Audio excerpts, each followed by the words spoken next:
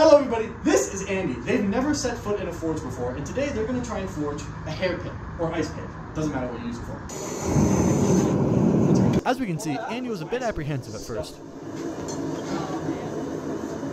I like your confidence. Oh man, that's powerful. Oh man! oh man. And I may have underestimated how hard drawing down material was for beginners. When I started, that's pretty much all I did because I never had the proper size material. Those who don't know, when you're drawing down material, you twist 90 degrees in between each hit to make your material longer and skinnier. However, what Andy was doing was twisting his hands 90 degrees each time, and not going based off of the visual feedback of the steel. This is a problem because he was holding round bar, so the bar was rotating in the tongs, making his 90 degrees not actually 90 degrees, and causing a lot of trapezoidal problems. But the problem is because you're gripping a circle, this can rotate within your grip. So it like it's it's rotating, and then what you register as 90 in your brain is like that on the anvil. I'm going to use this clay to demonstrate a very common mistake that beginners make. So, when you're drawing something down, you, you know, hit it on one side, rotate 90 degrees, hit it on the other side, rotate 90 degrees, other side, 90 degrees, and you rotate in between those, and as you can see, it will get thinner but also longer. However, what many beginners do is instead of going perfectly 90 degrees, they either over or under rotate, so then when the hammer comes down, you end up with a trapezoid cross section. Now, the way you correct this is you turn it up so that the longest part of your trapezoid is facing upward, and then you hit it to take the corners off. And from there, you can hit on your previous two edges and make your material a square again. However, finding the proper point of that trapezoid is very difficult, and explaining this without a visual metaphor is also very difficult. Also, tip for any aspiring blacksmiths.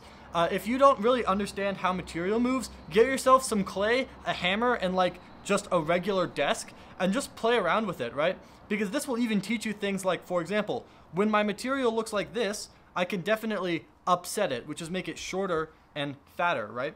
However, if my material was, say, super long and skinny, when I try to upset it, it just bends under its own weight.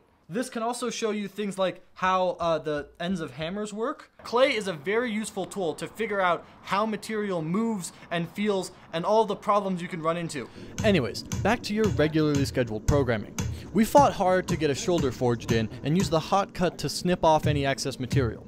And don't worry, I subjected him to swinging a hand hammer a bit.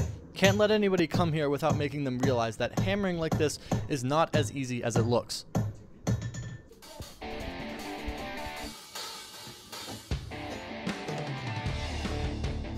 Bring it up farther.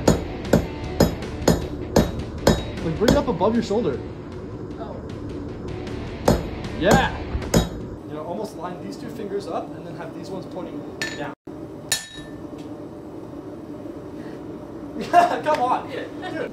Yeah, I guess I could try making a square. You're gonna have to help me though, because I've been. I feel like I've been doing the same thing over and over. It's not working. What do you mean? It's moving every time. Blacksmithing is all about patience and anger. After I helped Andy get everything nice and square, we moved on to twisting, which was legitimately the easiest part of this entire project. And then we spent definitely not 40 minutes putting the loop in the end of the ice pick. A little bit more off the angle, like with your hammer. Yes. Uh, we bent it the wrong way. Nice. Wait, careful, careful, careful, because. No, no, no. How do you grab it? Jeez. That's the wrong way. That's the wrong way. That's the wrong No, way. No! There, it's closed. It's closed!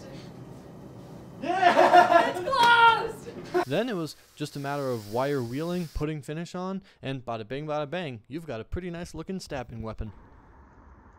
So this is the finished product. I, I like honestly, this is just this is amazing. Uh, for context, this is the first thing I ever forged. Yeah, Andy, you should be you should be incredibly proud of yourself. This is sweet. We did it!